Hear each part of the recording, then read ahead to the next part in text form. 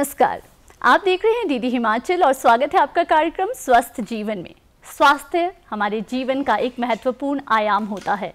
ये हमारे सामाजिक, शारीरिक, मानसिक संतुलन और तंतुओं को बनाए रखता है, जो हमारे जीवन की दिशा को प्रभावित करता है।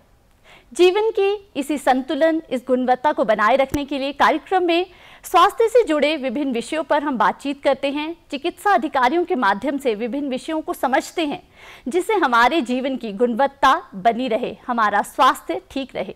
कार्यक्रम में आज का हमारा विषय है, एस्थमा या दमा।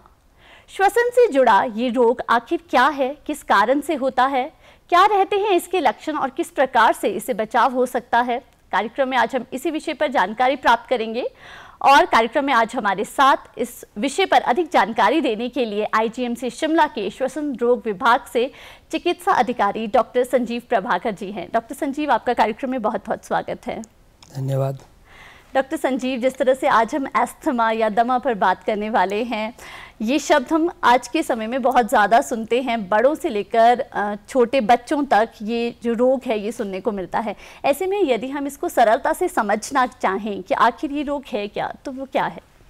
सबसे पहले तो मैं सभी दर्शकों को आज हैप्पी इंडिपेंडेंस डे की शुभकामनाएँ देता हूँ। और जहाँ तक आपने मुझसे पूछा एस्थमा एस्थमा एक बहुत ही कॉमन रेस्पिरेटरी डिसऑर्डर है। ये जो हमारे लंग्स होते हैं उनमें जो होने वाली बीमारियों में से सबसे कॉमन जो हम बोलेंगे तो एस्थमा भी एक कॉमन बीमारी है। और ये एक हिट्रोजिनस डिज़ीज़ है। यहाँ ये जो वर्ड हिट्रोजिनस है इसका मतलब समझने की बात है कि हिट्रोजिनस डिज़ीज़ वो डिज़ीज़ होती है जिसके कई कारण है। शुरू में क्या देखा जाता था कि एस्थमा को हम ये सोचते थे कि एक एलर्जिक बीमारी है पर अब ऐसा नहीं है। इसके साथ बहुत सारी टर्म जुड़ चुकी है जैसे एस्थमा विद ओबेसिटी हो गया या ऑक्यूपेशनल एस्थमा हो गया या एक्सरसाइज इंड्यूस एस्थमा हो गया तो इन इन इन सारी जो एस्थमा की जो टाइप्स है इसमें अलग अलग कारण से एस्थमा हो रहा है। तो ये एक हिट्रोजिनस लंग डिज़ीज़ है। इस बीमारी में जो हमारे फेफड़े होते हैं उनमें उनमें जो सांस की नाली नलियाँ होती है उसमें सूजन आ जाती है। और ये सूजन जो होती है बड़े बड़े लंबे समय तक रहती है और जिसको हम बोलते हैं क्रॉनिक एयरवे इन्फ्लेमेशन हो जाती है। इस बीमारी में जो है ये हर कंट्री में पाई जाती है ये बीमारी। ऐसा नहीं कि किसी एक ही कंट्री में है। और इसकी जो परसेंटेज रहती है, किसी कंट्रीज़ में ये वन परसेंट लोगों को इफ़ेक्ट करती है और one percent to twenty nine percent तक लोगों को इफ़ेक्ट करती है। कहने का मतलब है किसी कंट्रीज़ में कम मात्रा में लोग इसमें इन्वॉल्व होते हैं और किसी कंट्रीज़ में ज़्यादा लोग, जैसे ट्वेंटी नाइन परसेंट तक की पॉपुलेशन को भी इफ़ेक्ट करती है। जी। यदि हम इसके कारणों पे जाएँ जिस तरह से आपने कहा कि कुछ कंट्रीज़ में ये ज़्यादा है और कुछ में कम है तो क्या कुछ कारण रहते हैं इसके पीछे जब ये रोग होता है तो? जहाँ तक कारणों का कारण का सवाल है जैसे कि मैंने पहले भी बताया कि एस्थमा एक क्रॉनिक एयरवे इन्फ्लेमेशन डिज़ीज़ है। ऐसी डिज़ीज़ जिसमें सांस की नलियों में क्रॉनिक इन्फ्लेमेशन सूजन आ जाती है और वो नलियाँ जो सिकुड़ जाती है। तो उसके जहाँ तक कारण की बात करें तो हमारी जो बॉडी है, हमारी बॉडी में एक प्रॉब्लम किसी किसी व्यक्ति में इस तरह की प्रॉब्लम आती है कि जो हमारी सांस की नलियाँ होती है, वो थोड़ी ज़्यादा संवेदनशील हो जाती है या उसको हम क्या बोलेंगे हाइपर रिस्पॉन्सिव हो जाती है। जैसा देखा गया है कि एक जगह पे हम दो तीन लोग बैठे हैं और उस, इस जगह पे कहीं कोई स्प्रे कर देता है या पंजन स्मेल होती है या कोई तीखी या स्मोक होता है या डस्ट पार्टिकल होते हैं तो उसमें से किसी एक व्यक्ति को क्या होता है कि उस डस्ट पार्टिकल से एकदम उसकी सांस की नालियाँ हाइपर रिस्पॉन्सिव होने के कारण उसमें, उस व्यक्ति को खांसी होने लग जाती है, उस व्यक्ति को सांस में उसकी छाती से शह की आवाज़ आने लगती है और उसमें चेस्ट कंजेशन हो जाता है।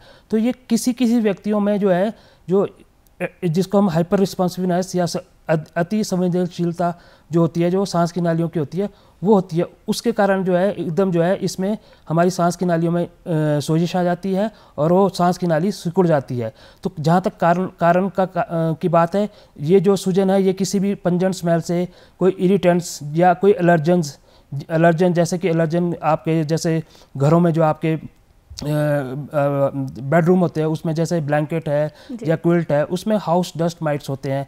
इसी तरह जो है घर में हमने पालतू जो जानवर पाले होते हैं जैसे कैट है डॉग है तो उन, उनके छोटे छोटे बाल जिनको हम पेट डेंडर्स बोलते हैं उसके कारण जो है वो हमारे को ये एलर्जी हो सकती है।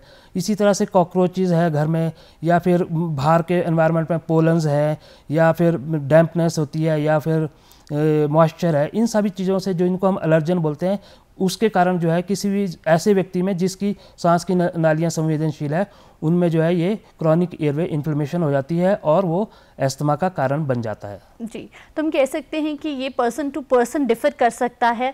किसी भी व्यक्ति में कोई भी कारण हो सकता है। आसपास का जैसे आपने कहा कि घरों में कोई चीज़ हो सकती है चाहे हमारे पेट्स हैं या किसी और चीज़ की स्मेल है तो किसी भी व्यक्ति को कोई भी चीज़ जो है वो इफ़ेक्ट कर सकती है। ऐसा नहीं है कि किसी विशेष चीज़ के कारण ही किसी को ये बीमारी हो सकती है। जी हाँ। जी। डॉक्टर प्रभाकर जिस तरह से हम इसके टाइप्स की बात आपने शुरुआत में की कि इसके ये अलग अलग तरह का होता है तो थोड़ा इसके बारे में बताएँ कि किस तरह से ये डिफ़र करते हैं पर्सन टू पर्सन व्यक्तियों में किस प्रकार से अलग अलग तरह के ये होते हैं? शुरू में जब हम पढ़ते थे, आज से 10-12 साल 15 साल पहले तो इसके टाइप्स जो है अर्ली ऑनसेट एस्थमा और लेट ऑनसेट एस्थमा बोला जाता था। पर अब जो है, इसके कई फिनोटाइप्स बन गए हैं। टाइप्स की जगह फिनोटाइप्स है, जैसे एलर्जी इंड्यूस्ड एस्थमा होता है, एक नॉन एलर्जी का एस्थमा होता है, एक एस्थमा जो होता है, जो एलर्जी विद ओबेसिटी होता है एक एस्थमा ऐसा होता है जिसमें persistent air air flow limitation होती है जो कि ऑलमोस्ट एक इस एस्थमा से मिलती जुलती बीमारी सीओपीडी है उसके इक्वलेंटी माना जाता है उसको उसमें फिक्स्ड एयरवे हो जाते हैं। इस तरह से एक जो है अडल्ट ऑनसेट एस्थमा होता है। तो ये जो पाँच वैरायटीज़ है ये इनके फिनोटाइप्स है। उसमें सबसे पहला वाला जो एलर्जी इंड्यूस एस्थमा है वो जो है बड़ा ही कॉमन है और वो बहुत ही जल्दी डिटेक्ट हो जाता है। इसमें जो है पेशेंट जैसे ही किसी एलर्जन के कॉन्टैक्ट में आता है तो उसको ये रेस्पिरेटरी के सिम्टम जो है चेस्ट कंजेशन वगैरह शुरू हो जाता है। और ऐसे व्यक्ति में जो हम जो हम हमारी दवाइयाँ हैं उसमें जो हम इनिशियल स्टेज पे ही जो है इनहेल्ड कॉर्टिकोस्टेरॉइड देते हैं तो इसमें रिस्पांस भी बहुत अच्छा आता है पेशेंट के सिम्टम बहुत जल्दी सेटल हो जाते हैं। एक दूसरा एस्थमा जो कि नॉन एलर्जिक एस्थमा है ये यूजुअली जो है इतनी फ्रीक्वेंटली नहीं पाया जाता है, पर इसमें जो है स्टीरॉयड का रिस्पांस भी थोड़ा कम आता है। फिर तीसरा जो है एडल्ट ऑनसेट एस्थमा है, ये पर्टिकुलरली एडल्ट एज में होता है और पर्टिकुलरली वीमेंस में ज़्यादा होता है। तो इसमें भी जो है दवाइयों दवाइयों से हम इस एस्थमा को भी कंट्रोल कर सकते हैं। इसी तरह से कुछ ओबीज लोग होते हैं जिनका बीएमआई ज़्यादा होता है, उसमें भी एस्थमा पाया जाता है तो हम उसको एस्थमा विद ओबेसिटी बोलते हैं। और एक तरह का एस्थमा जैसे कि जो काफ़ी लंबे टाइम तक हमारे को एस्थमा रह रहा हो और उसके हमारे को एस्थमा के लक्षण उसमें ठीक ना हो रहे हो दवाइयाँ लेने के बाद भी हम ठीक ना हो रहे हो और ऐसा व्यक्ति थोड़ा परहेज भी नहीं कर रहा होता उसका टेक्निक भी अच्छी नहीं हो रही होती और साथ के साथ वो स्मोकिंग भी कर रहा होता है तो उसमें asthma with persistent fixed airflow limitation बोलते हैं ये भी एक फिनोटाइप है। ये तो इसके पाँच फिनोटाइप इस तरह से हमने डिवाइड कर दिया। एक दो तरह के और तरीके हैं जिससे हम एस्थमा को डिवाइड कर सकते हैं या उसके प्रकार बना सकते हैं। एक है माइल्ड एस्थमा एक है मॉडरेट एस्थमा एक है स्वीयर एस्थमा माइल्ड एस्थमा वो एस्थमा होता है जिसमें हमें बहुत ही कम डोज में दवाइयाँ देनी होती है जो कि हम इनहेलर फॉर्म में देते हैं और वो एस्थमा सेटल हो जाता है उस दवाई को लेने से। मॉडरेट एस्थमा वो एस्थमा होता है जिसमें लो डोज से पेशेंट मरीज़ जो है स्वस्थ नहीं होता है और हमें जो दवाई की मात्रा जो कि हम इनहेलर देते हैं जैसे एमडीआई होते हैं या हमारे ड्राई पाउडर इनहेलर होते हैं वो दिया जाते हैं उसमें जो हमारी दवाइयाँ होती हैं, उसमें हमें मॉडरेट डोज देनी पड़ती है। लो डोज की जगह मॉडरेट अमाउंट ऑफ़ ड्रग देनी पड़ती है और उससे वो एस्थमा सेटल हो जाता है। एक थर्ड फॉर्म ऑफ़ एस्थमा जो है, वो है स्वीयर एस्थमा स्वीयर एस्थमा वो एस्थमा होता है जिसमें हमें high dose of inhale corticosteroid देने होते हैं और उससे भी जो है कभी कई बार एस्थमा कंट्रोल नहीं होता है। तो ये दो तरह से मैंने डिवाइड कर दिया। एक मैंने बताया फिनोटाइप्स वो पाँच तरह के, उसके बाद मैंने किस, कितनी डोज से एस्थमा कंट्रोल हो रहा है, उसके बेस पे जो है माइल्ड मॉडरेट स्वीयर बताया। और एक और तरह का एस्थमा होता है, जिसको हम सिम्टम बेस्ड डिवाइड करते हैं, वो, जो लेटेस्ट गाइडलाइंस, हमारी जीना गाइडलाइंस आती है, हर साल आती है, उसके अकॉर्डिंग हमारे पास चार क्वेश्चंस होते हैं। हम पूछते हैं पेशेंट को कि उसको सिम्टम जो है, दिन में जो है, हफ़्ते में दो बार से ज़्यादा हो रहे हैं, रात को उसको एस्थमा के कारण उठना पड़ रहा है, और उसको जो है, इनहेलर जो है, हफ़्ते में दो बार से ज़्यादा लेना पड़ रहे हैं इस तरह के क्वेश्चंस हम पुटअप करते हैं और उसके बेस पे हम उसको zero score one two two score और थ्री टू फोर स्कोर देते हैं। उसके बेस पे हम एस्थमा को और डिवाइड कर सकते हैं। उसमें हम well controlled asthma partly partly controlled asthma और टोट और अनकंट्रोल्ड एस्थमा ये तीन तरह से एस्थमा को डिवाइड कर सकते हैं। तो नट शेल में ये तीन तरह से हम एस्थमा के प्रकार बता सकते हैं। जी। डॉक्टर प्रभाकर, अगर हम इसके लक्षणों की बात करें, जिस तरह से आपने बीच में भी कहा कि इसके जब जैसे जैसे लक्षण दिखते हैं तो अगर कोई आम व्यक्ति जानना चाहता है कि उसमें श्वसन से जुड़ी कोई समस्याएँ जो है वो शुरू हो गई हैं, कुछ चेंजेस वो नोटिस कर रहा है तो ऐसे में कौन कौन से ऐसे लक्षण रहते हैं जिससे वो पता लगा सकता है कि शायद उसे एस्थमा हो रहा है?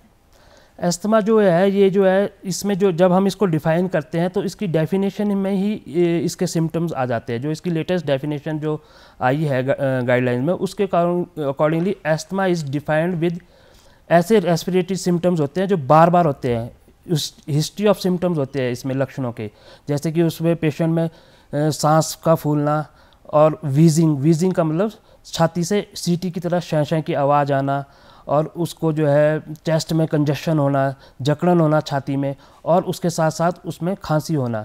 पर ये सिर्फ़ सिम्टम्स है और ये और बीमारियों में भी हो सकते हैं। जैसे दूसरी जो छाती ये छाती की बीमारी है या लंग्स की बीमारी है सीओपीडी है, उसमें भी हो सकते हैं। पर जो एस्थमा के लक्षण है, उसमें जो है इन सिम्टम्स के जो इन लक्षणों का जो है बार बार हिस्ट्री होती है। पेशेंट एक बार ठीक इन इन, एक बार ये लक्षण आते हैं और कई बार तो ऐसा होता है कि बिना दवाई के भी ये लक्षण ठीक हो जाते हैं। पर फिर जैसे ही एलर्जन के कॉन्टैक्ट में मरीज़ आता है तो उसको द्वारा ये लक्षण हो जाते हैं। तो मेरा मेन पॉइंट यहाँ बताने का है कि ये लक्षण चार तो है, पर इनमें से चारों में ऐसा नहीं कि एक ही सिम्टम हो रहा है तो आप एस्थमा बोलेंगे। एटलीस्ट एक से ज़्यादा सिम्टम होने चाहिए इस, इन चारों के। और ये, इन, ये जो चार सिम्टम ये बार बार पेशेंट को होते हैं।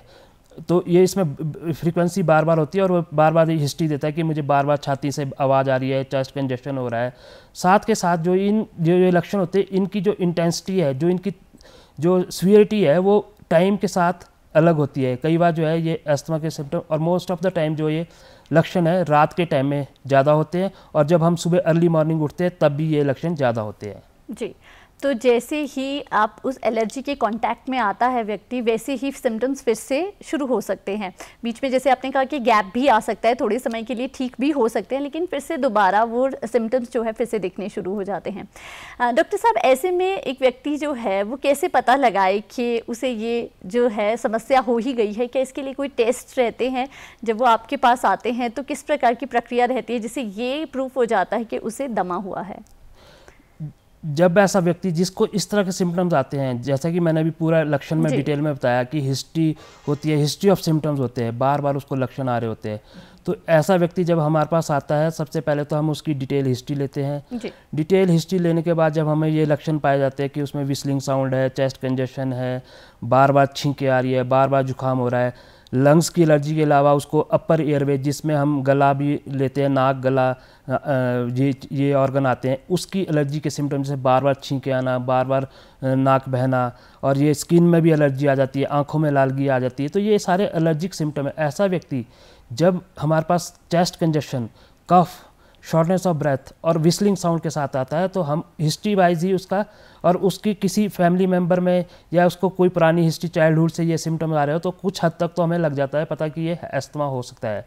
उसके बाद जो है, हम ऐसे व्यक्ति के जो है, एक टेस्ट होता है, जिसको हम स्पायरोमेट्री बोलते हैं, उस पल्मोनरी फ़ंक्शन टेस्ट में आता है स्पायरोमेट्री वो टेस्ट करवाते हैं और उसमें जो है, हम रिवर्सिबिलिटी टेस्ट करते हैं। ये एक ऐसा टेस्ट है जिसमें हम जो व्यक्ति इन सिम्टम, सिम्टम्स के साथ आता है, उसको जो है हम इनहेलर फॉर्म में ड्रग्स देते हैं। Short acting beta two agonist drugs जिनको बोला जाता है, वो इनहेलर फॉर्म में देते हैं। और वो ड्रग्स देने से पहले हम उसका जो है force expiratory volume in one second मतलब जिससे हमारे को लंग की कैपेसिटी के बारे में पता चलता है कि हमारे फेफड़े कितनी हवा बाहर छोड़ सकते हैं, उसको मैयर करते हैं। बेस लाइन पहले वो टेस्ट हो जाता है, उसके बाद जो है हम उस व्यक्ति को वो दवाई जो है शॉर्ट एक्टिंग दवाई जो है, वो उसी देर में असर कर देती है। उसके 10-15 मिनट बाद जो है रिपीट टेस्ट करते हैं और उससे देखते हैं कि वो जो उसका एफ़ वन है, वो अभी भी उतना ही है कि उसका इम्प्रूव हुआ है। जब वो इम्प्रूव हो रहा है तो उससे हमारे को पता चलता है कि ये जो है अस्थमा हो सकता है।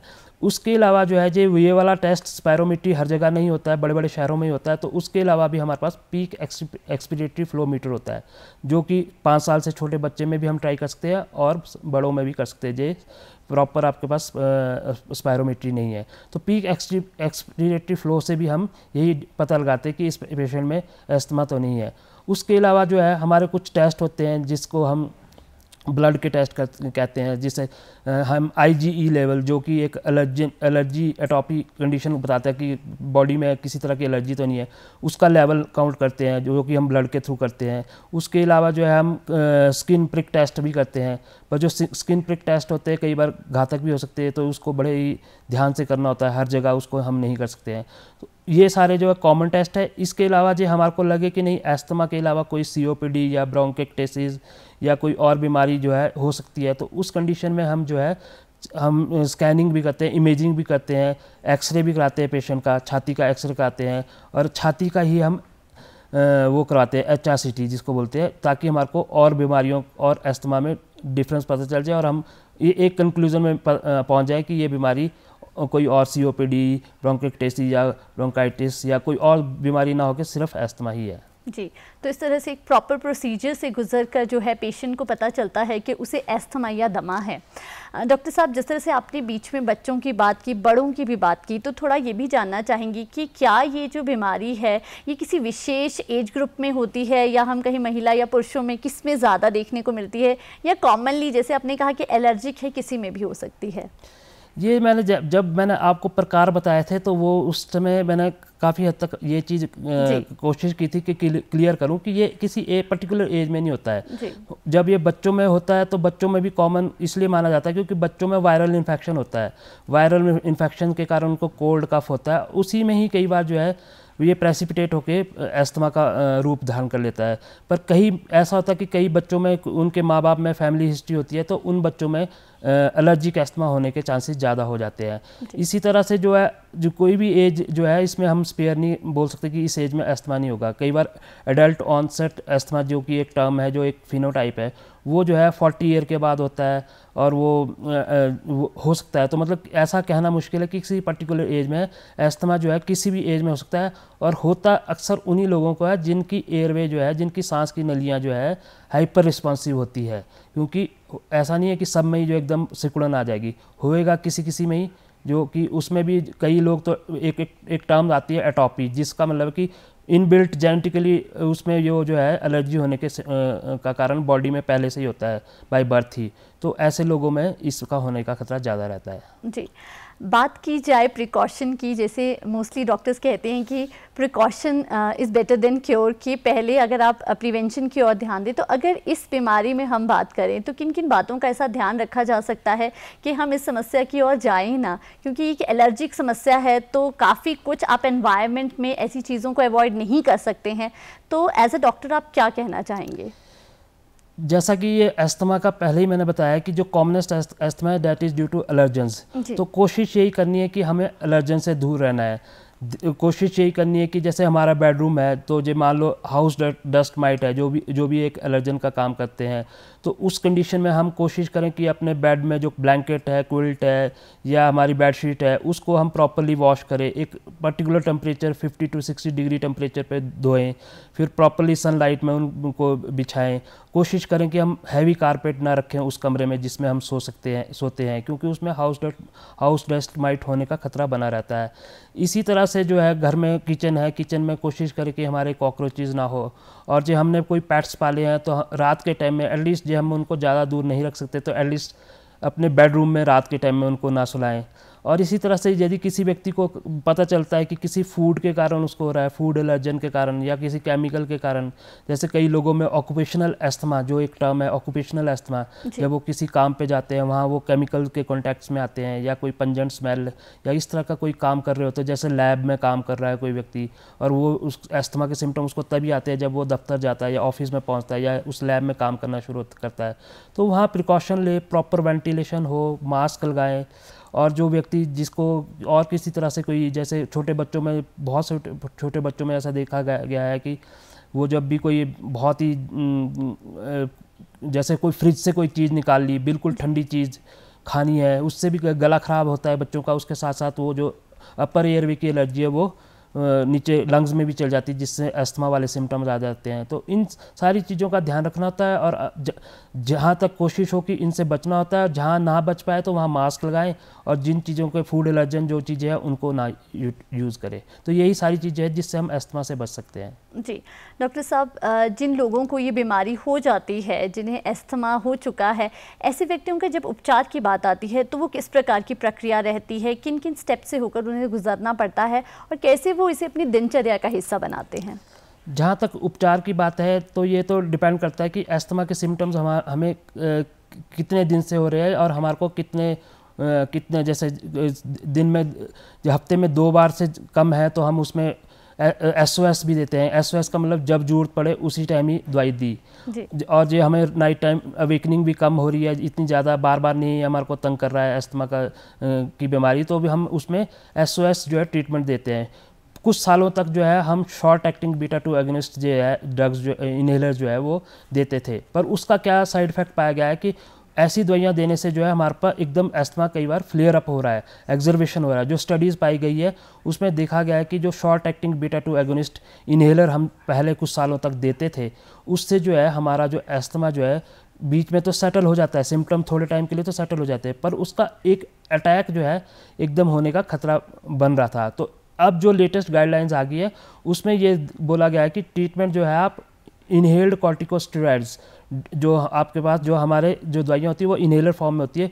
वो और साथ में आप ब्रोंकोडाइलेटेड ड्रग जो है, जैसे कि फॉर्मिट्रोल है या LABA long acting beta two agonist drugs है, वो दें। वो ज़्यादा बेटर है। तो अब जो ट्रीटमेंट है, जो हम ट्रीटमेंट जैसे ही कोई व्यक्ति हमारे पास आता है और हमें पता लगता है कि ये एस्थमा है तो हम उसके सिम्टम्स के बेस पे कि उसको थोड़े सिम्टम्स हैं कि ज़्यादा सिम्टम है। उसके बेस पे उसको हम दो तरह से ट्रीटमेंट करते हैं। या तो हम उसको रिलीवर ड्रग्स बोला जाता है, या फिर हम कंट्रोलर ड्रग्स बोलते हैं। रिलीवर ड्रग्स का मतलब होता है कि अभी सिम्टम बहुत कम है और हम उसको एक पाफ या दो पाफ देते हैं और उसको बोलते हैं एलर्जन से दूर हो जाओ। और उसके सिम्टम्स कई बार उन एक डोज या दो डोज से भी ठीक हो जाते हैं और साथ में वो उसको जो है वो कई बार ऑटोमेटिकली बिना दवाई के भी ठीक हो जाता है। और एक दूसरी टाइप की ड्रग्स जो बोला कंट्रोलर ड्रग्स है, वो लंबे टाइम तक के देते हैं। वो हम दो से तीन महीने तक पेशेंट को देते हैं और वो ये दवाइयाँ ऐसे पेशेंट में दी जाती है जिनमें सिम्टम ज़्यादा होते हैं।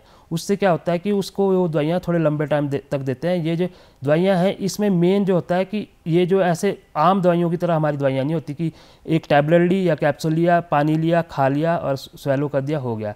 हमारी जो दवाइयाँ हैं वो इन्हेलर फॉर्म में आती है। उसमें जो है टेक्निक जो है हमें प्रॉपर सिखानी पड़ती है।